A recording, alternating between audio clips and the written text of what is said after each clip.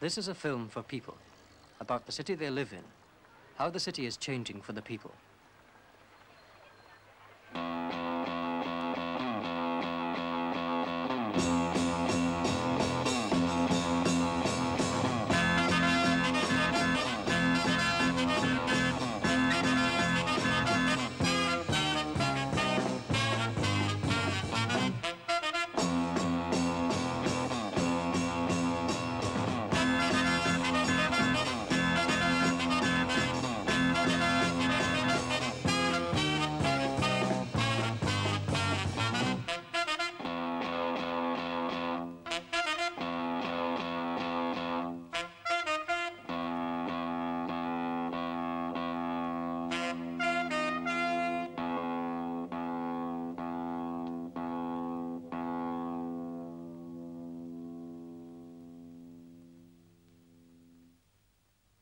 A cathedral and university city on a river on the edge of Europe.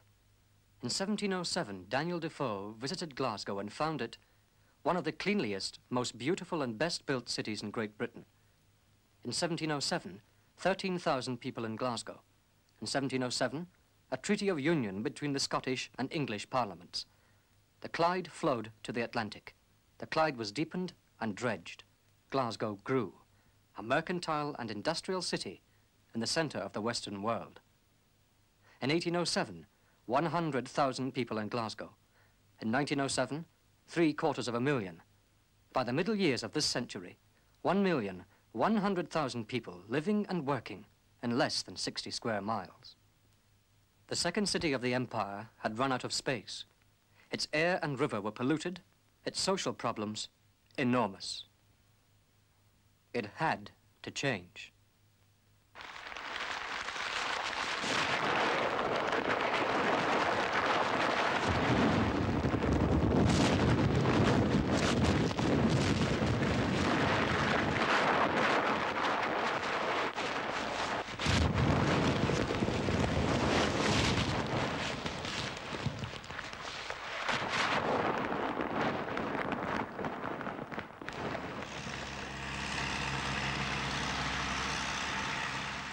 In 1960, work began on the biggest urban redevelopment program in Europe, a 20-year program involving five square miles, a twelfth of the city's area. Between 1960 and 1970, 52,000 houses were demolished in Glasgow. A further 75,000 are scheduled for demolition up to 1980. To make room for new life in the city, for new houses, industries, schools and colleges, hospitals, social and cultural amenities, for new roads linking a planned and integrated community. Noise, dust, confusion, the sometimes painful transformation of familiar landmarks. This is Charing Cross. But Glasgow's future is planned out in the heads of planners, stage by stage modelled in balsa and plastic, presented to the public and their representatives, argued and approved. Construction work in the Kingston Bridge began in the spring of 1967.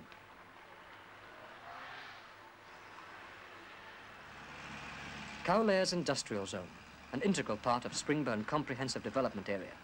There are 29 of these development areas in the city. By 1970, work had begun on eight of them. Another 10 were in the pipeline. In the city centre, Victorian grandeur, the Duke of Wellington, and a bank for the 1980s.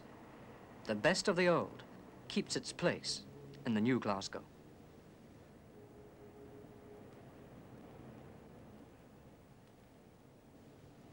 Glasgow's overspill means that in 1980, the population of the city will be 800,000 people. They will have good houses and a revitalized environment that will free them from the cramped conditions of the past. Sir Basil Spence's high-rise flats in Hutchesontown, Gorbals, the first of the comprehensive development areas. Before redevelopment, population density was 460 people per acre. Now, it's 150 people per acre living with light, space, a sense of freedom. Medium-rise housing at Pollokshields. The redeployment of land formerly occupied by villas means that more people can live in the district and also enjoy a greater openness of vista.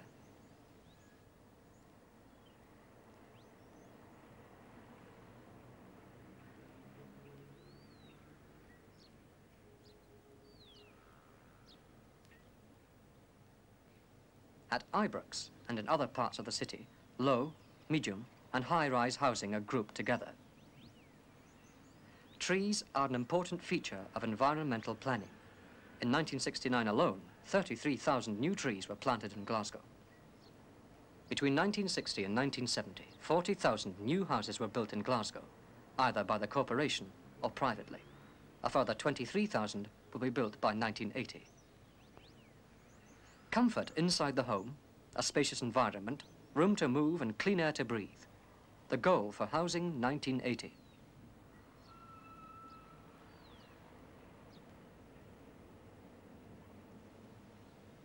The future of any city develops out of its past, and this is not forgotten in the process of change. Some of the best of Glasgow's traditional four-storey sandstone tenements are being modernized.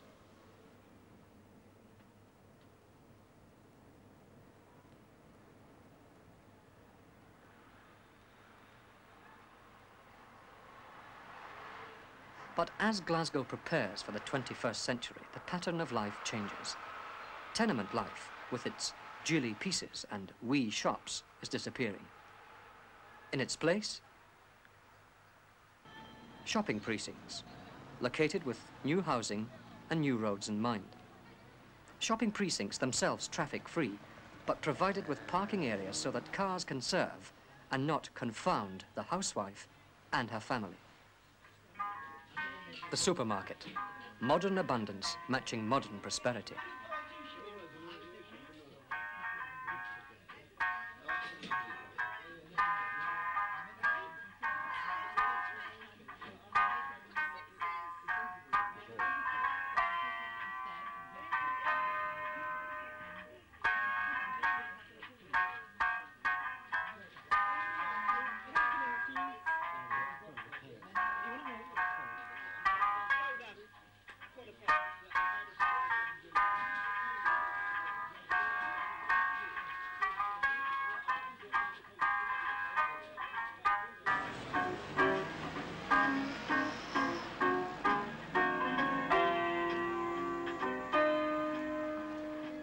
Shawlands Shopping Centre.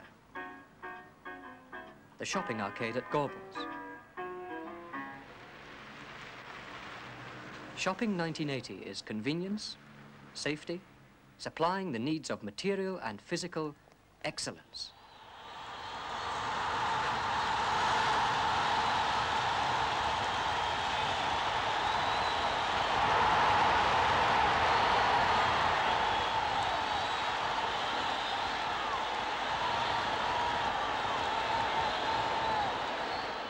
Glasgow made up for not inventing football by creating Celtic, Rangers and the Hampden Roar.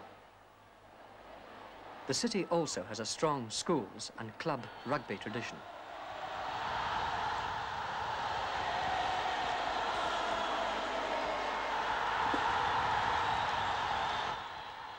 And men and women with the leisure and energy to play sport, as well as just watch it.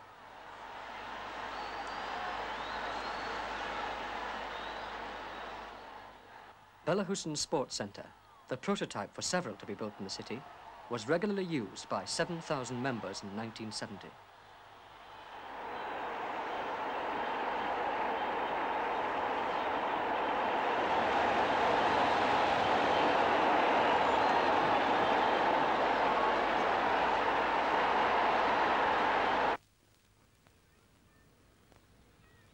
Scotland's other national game, golf, at Haggs Castle.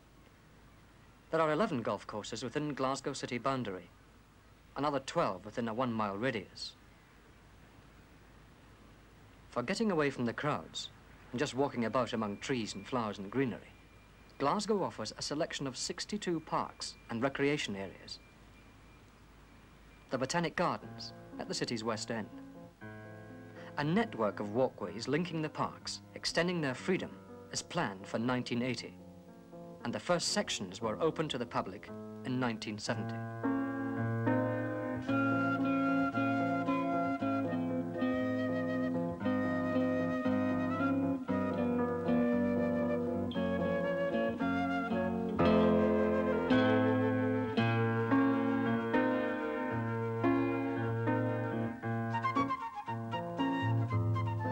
The calm elegance of a former era.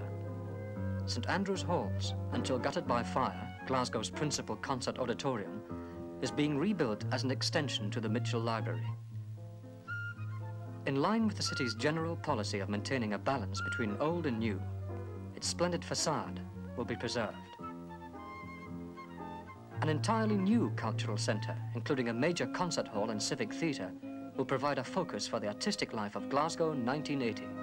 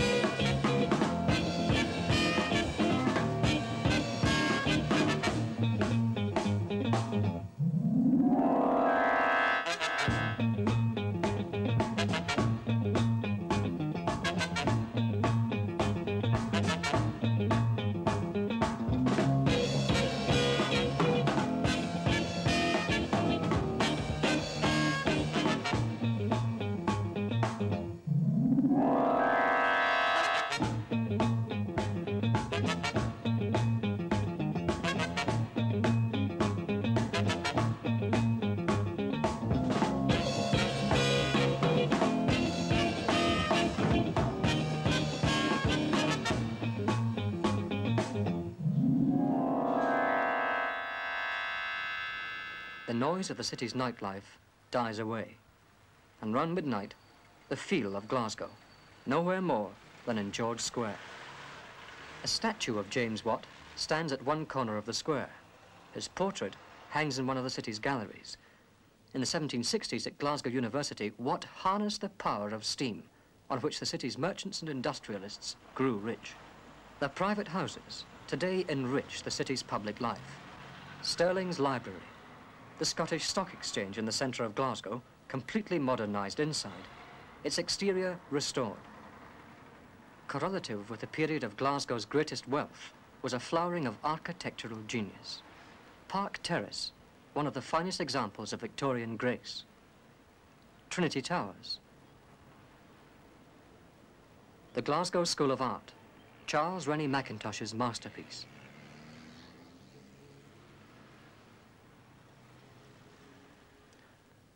The Mitchell Library, the largest public reference library in Scotland, was endowed in 1874 by Stephen Mitchell, a tobacco merchant.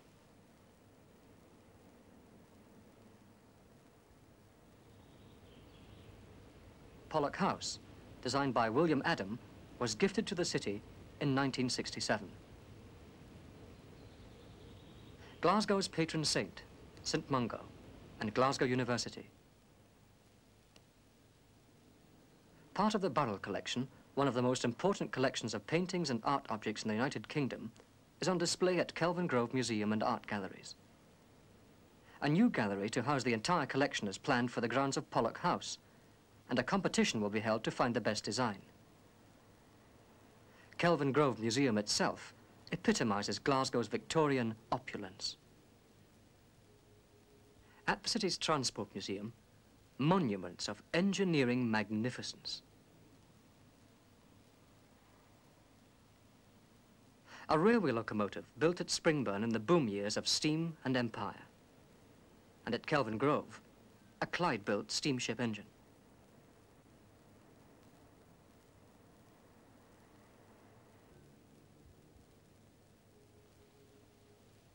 Glasgow grew rich on the tides of the Clyde. The river itself grew dirtier and dirtier. Strict controls and cleaning up measures are now exercised by the Clyde River Purification Board. And by 1980, the river water will be pure enough to support fish once again.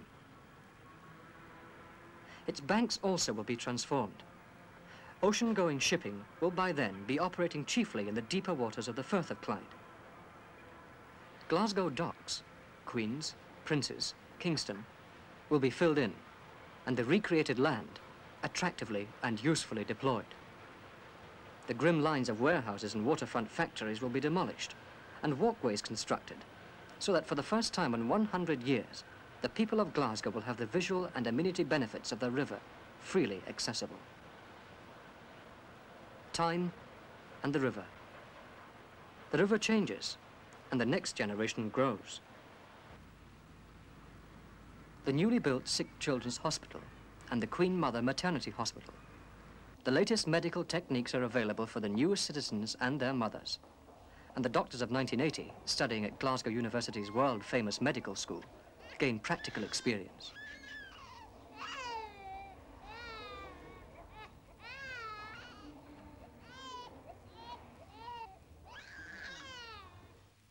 At Jordanhill Training College, the teachers of 1980.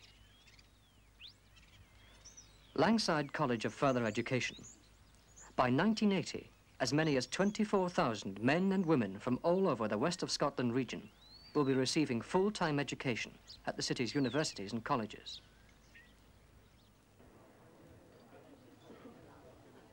Part of a rapidly developing educational precinct near the city centre, Glasgow College of Building, and the young men whose skills will build the new houses and roads, offices and factories, hospitals, colleges and schools for their children, for the next generation.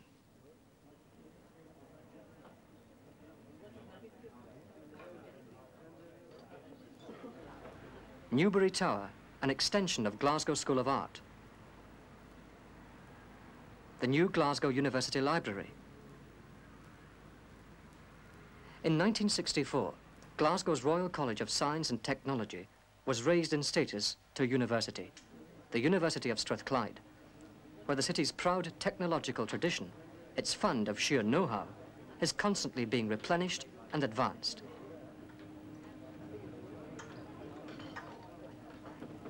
The new Glasgow, with its industrial estates and with the industrial and commercial zones of its development areas, gives its people space to work as well as space to live, greater physical and mental freedom, and understanding of what they do.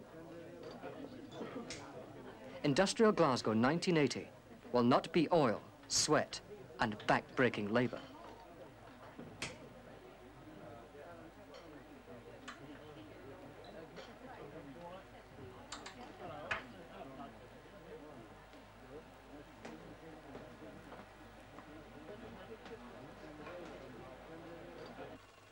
Commercial Glasgow 1980 will not be mindless columns of figures.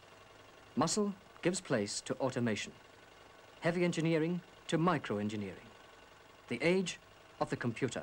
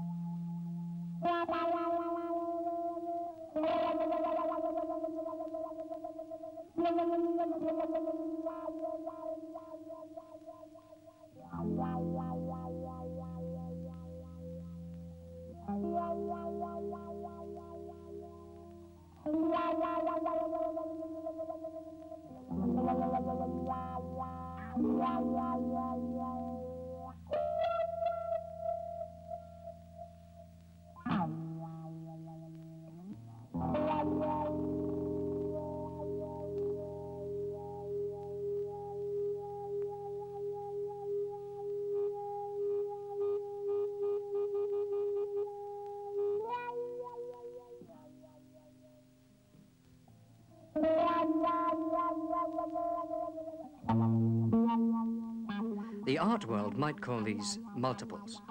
The world of industry knows them as Glasgow-made jet engine components, accurate to within a millionth of an inch.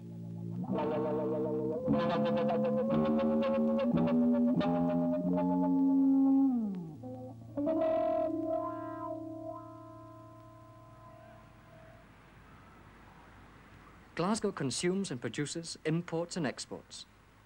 Its future growth depends on fast, efficient, automated handling of goods. Gushetfaulds Rail Terminal in the southeast of the city handles 17 miles of standard international containers a week. Potentially, the Firth of Clyde is a deep water port second to none in Europe. If the vision of Oceanspan is realized, the Glasgow region will become a vast container entrepot for the rest of Britain and Europe. Transportation, 1980. Glasgow's highway plan proposes a four and a half mile inner ring road round the centre of the new city, making the central area easy to bypass, fast to get into, fast to get out of, more accessible. On June the 26, 1970, a symbolic stage of this crucial development was reached when Her Majesty the Queen Mother opened the largest urban bridge in the United Kingdom. Built at a total cost of 11 million pounds, the Kingston Bridge has a span of 880 feet over the waters of the Clyde. Its five northbound and five southbound lanes will carry 70,000 vehicles a day in 1975, 120,000 a day in 1990.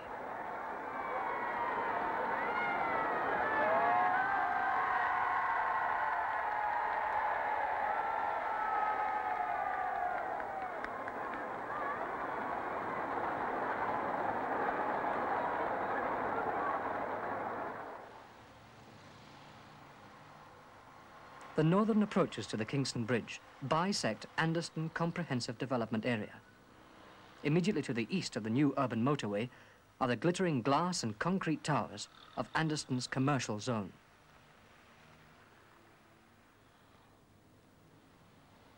West of the motorway, along the Clydeside Expressway, are situated Anderston's main housing and industrial zones. The commercial complex will incorporate a multiple level system for a pedestrianised shopping area people and shops on top, parking and services below.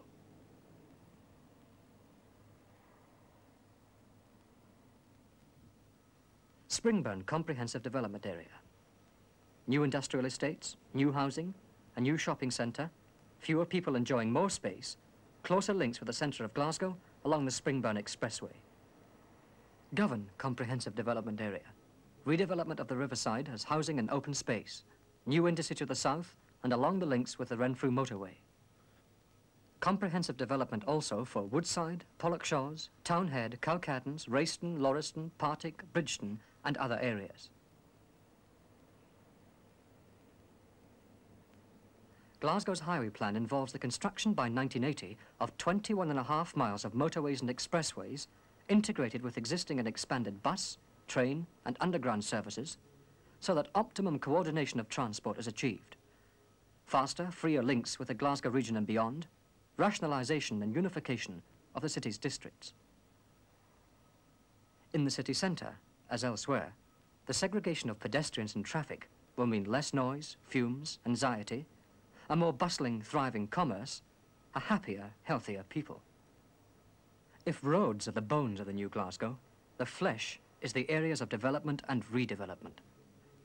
Change on the scale that Glasgow has undertaken inevitably brings with it disruption, dislocation. But the aim is clear, a reorganized and better city. The greater leisure opportunities of Glasgow 1980 are illustrated by the network of walkways which will by then be in existence. The Kelvin Walkway will link up with the Highland Way, taking the hiker on a continuous nature trail to Loch Lomond and points north. The overall plan for the new Glasgow on which the light blue spots represent proposed shopping and community centres, transforms the heart of the city into clean air, uncongested commercial and housing areas, locates industry with people in mind, and with a communications network, makes the city freer and more rational in terms of space, more compact and efficient in terms of time. Above all, it is the communications network which makes clear what direction Glasgow is taking for 1980 links with the world. From Glasgow Airport, only 15 minutes by car from the city centre, to London, Paris, Amsterdam. links with the region. 100,000 people come into Glasgow every day to work. Glasgow 1980 is west of Scotland 1980.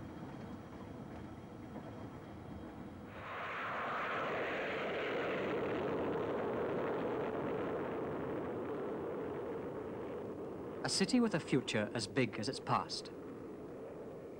A city of fighters, whose response to a challenge is usually bigger than the challenge itself. A city whose energy has perhaps too much in the recent past been frustrated and corrupted into violence by apparently insurmountable social problems. But an energy which today is expressing itself, rediscovering itself, through the dynamism of change, difficult but necessary change, towards planned freedom, mobility, a more happily coordinated and prosperous society. There's a lot to be done, but the city and its people are doing it, reaching out for Glasgow 1980.